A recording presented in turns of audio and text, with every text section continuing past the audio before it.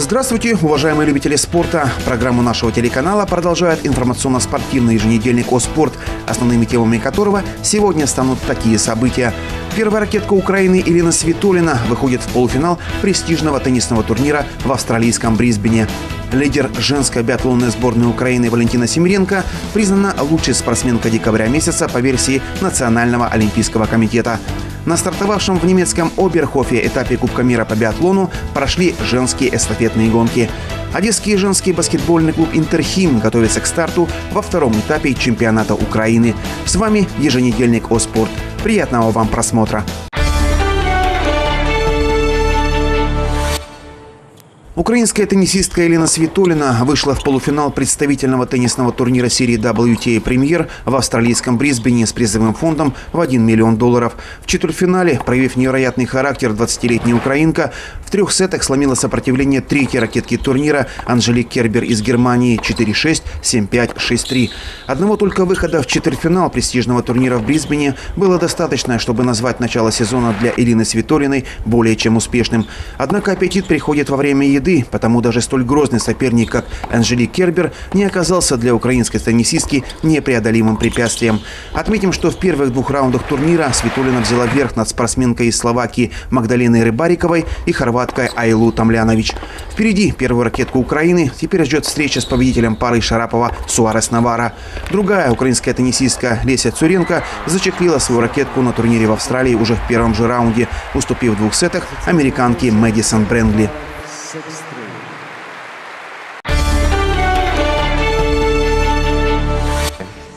7 января в Дохе на турнире серии ATP Qatar Open в одиночном разряде прошли матчи второго круга. 57-я ракетка мира, 29-летний украинец Сергей Стаховский не сумел остановить первую ракетку мира лидера посева 27-летнего серба Новака Джоковича. Украинец проиграл своему сопернику в двух сетах со счетом 2-6, 1-6. Встреча длилась 1 час 1 минуту. За это время Сергей не смог реализовать ни одного из трех своих брейкпоинтов, а Новак сделал 4 брейка. Украинец три раза подал на вылет и один раз ошибся на подаче против пяти эйсов и двух двойных ошибок у серба. Теперь счет их личных встреч стал 4-0 в пользу сербского теннисиста. В четвертьфинале соперником Джоковича будет седьмая ракетка турнира хорват Ива Карлович, который обыграл грузина Николос Басиашвили. Не сумел Сергей Стаховский в паре со своим ровесником из Чехии Лукашем Росселом пробиться в полуфинал турнира Катар Open и в парном разряде, уступив австрийцам 40-летнему Джулиану Ноулу и 28-летнему Филиппу Освальду со счетом 3-6, 5-7. Поединок продолжался 1 час 10 минут. У обеих пар было по 6 брейкпоинтов, из которых Сергей и Лукаш не сумели реализовать ни одного, а их соперники реализовали два. На счету обеих пар по 3 эйса, при этом украинец с чехом обошлись без двойных ошибок, а австрийцы ошиблись дважды. В полуфинале Ноул и Освальд встретятся с испанцами Фернандо Вердаско и Давидом Мареро.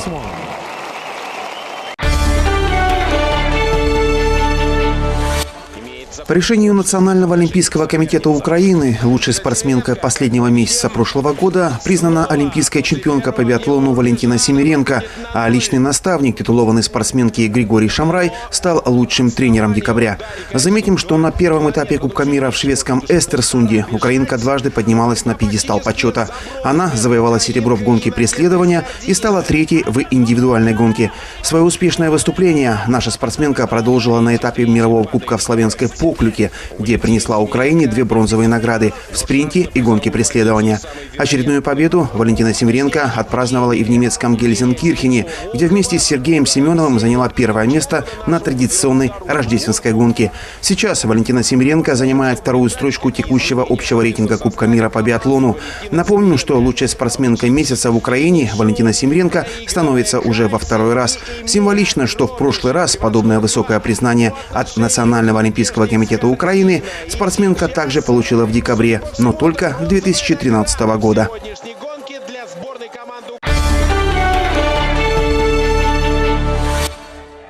200 метров дистанции. Именно такой отрезок отделил экспериментальный состав женской эстафетной сборной Украины от настоящей рождественской сказки. Наша команда провела очень достойную гонку на протяжении половины дистанции, радуя болельщиков лидерством в первой официальной гонке 2015 года. Анастасия Меркушина блестяще справилась со своим первым этапом, дебютным в составе эстафет Кубка мира. 19-летняя спортсменка безошибочно стреляла на рубежах и вполне достойно смотрелась по чистой скорости в компании куда более опытных соперников соперниц. На передаче эстафеты Настя, хотя и была девятой, но отставание от лидеров составило всего 25 секунд. На второй этап украинские болельщики возлагали особые надежды. И лидер, а в какой-то мере даже символ нынешней команды Валя Семиренко также великолепно отработала на огневых рубежах и свой отрезок дистанции закончила уже лидером. Ольга Абрамова заставила поволноваться уже при стрельбе лежа, когда закрыла одну непокорную мишень только тремя дополнительными патронами. При этом, несмотря на хорошую скорость, Ольга подпустила к себе себе группу соперниц. Но зато стойку наша спортсменка отработала лучше конкуренток. Всего с одним запасным патроном, в то время как Надежда Писарева из Беларуси ушла на дополнительные 150 метров, а россиянка Дарья Веролайнин заработала два штрафных круга. Финишный круг Абрамова также провела очень хорошо и передала эстафету лидерам. Ирине Варвинец в этой гонке досталось самое тяжелое испытание. Мало того, что, как всегда, на финиш гонки соперники поставили своих лучших биатлонисток, соревноваться с которыми в своей всего лишь второй в карьере гонки гонки Кубка мира Ире было невероятно сложно. Так ситуация усложнилась еще и спустившимся на стадион туманом. Но Варвинец в сложившихся условиях показала все, что могла, хотя скорости на дистанции ей явно не доставало. Всего два запасных патрона на рубежах и на последний круг украинка ушла третьей, вслед за сборными Чехии и Франции. Но догонять Ирину бросились ведущие спортсменки Кубка мира Дарья Домрачева и Кирилл Экфов, за которыми уцепилась еще и итальянка Карин Оберхофер. И, к сожалению, уже на финишной прямой Ира упустила бронзу, финишировав в итоге шестой. А победу в гонке праздновала сборная команда Чехии, у которой Вероника Виткова на последнем километре дистанции была быстрее француженки Анаис Бескон. Третьей стала Дарья Домрачева и ее сборная команда Беларуси. В Кубке наций украинская команда остается седьмой, отставая от идущих пятыми норвежек уже на добрых 88 очков.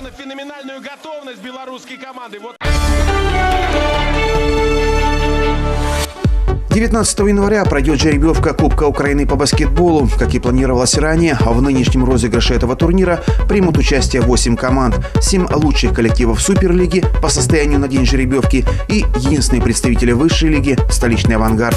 Первые четвертьфинальные встречи состоятся в период с 23 по 25 января, а ответные с 30 января по 1 февраля. Финал четырех пройдет в Киевском дворце спорта в период с 21 по 22 февраля.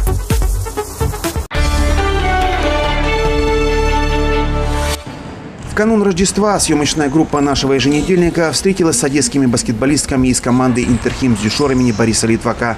Впрочем, настроение у девушек было скорее рабочим, чем праздничным.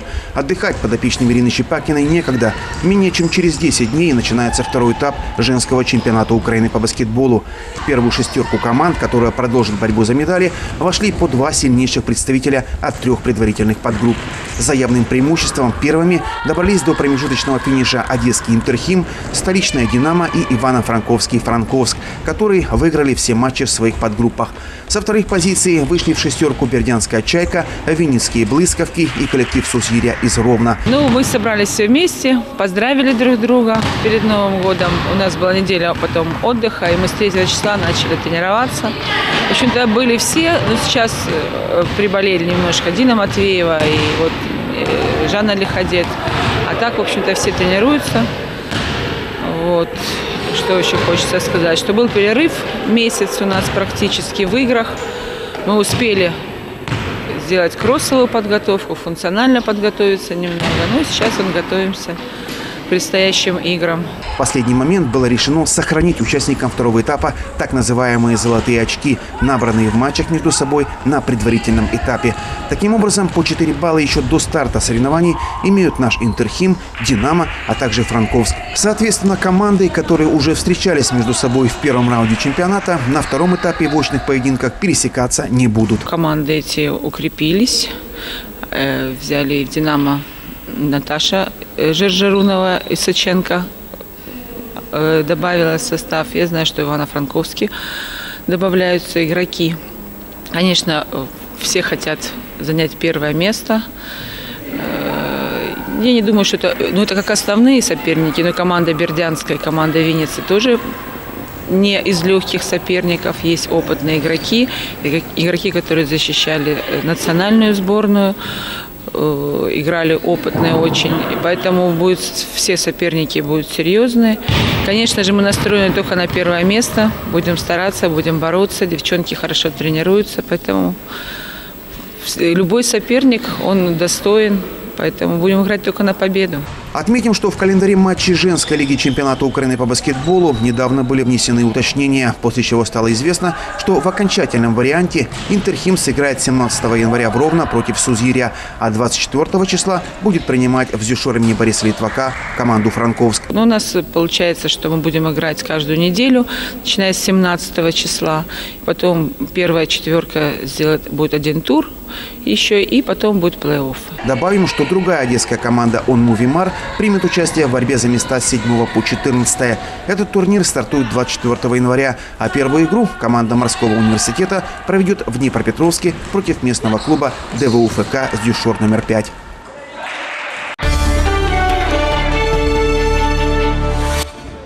Волейбольный клуб «Химики» и швейцарский клуб «Канти Шафхаузен» договорились о сроках проведения матчей 1-8 финала Кубка вызова ЕКВ. Первая игра между соперниками будет сыграна в Южном во вторник 13 января в 18.00, а ответный поединок пройдет в швейцарском Шафхаузене 21 января в 21 час 30 минут по киевскому времени. Между тем, в преддверии Еврокубковой битвы за путевку в четвертьфинал Кубка вызова ИКВ, Южинский химик проведет спаренные встречи восьмого тура чемпионата Украины, сыграв 9 и 10 января в Виннице с местной командой «Белосгар Медуниверситет». Соперник юнинской команды по Еврокубку швейцарский клуб Канти Шафхаузен накануне визита в город Южный также проведет гостевой выездной поединок в национальном чемпионате, сыграв 10 января с командой Кёниц. После этого Канти отправится в Невшатель, где 17 января у него запланирована еще одна игра чемпионата Швейцарии. Химик же в этот период времени сосредоточится на подготовке к ответному матчу.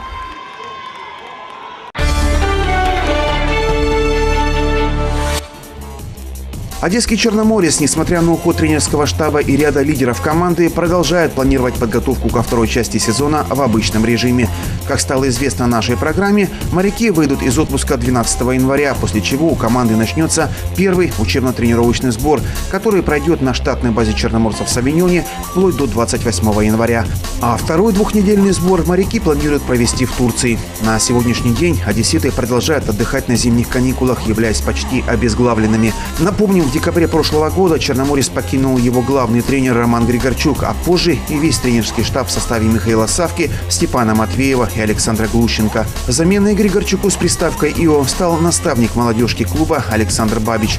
Следом за тренерским штабом одесскую команду покинули уже и два игрока номинальной основы, а именно Евгений Зубейко, перешедший в клуб первой российской лиги Тосна, и Алексей Гай, пополнивший ряды азербайджанской Габалы.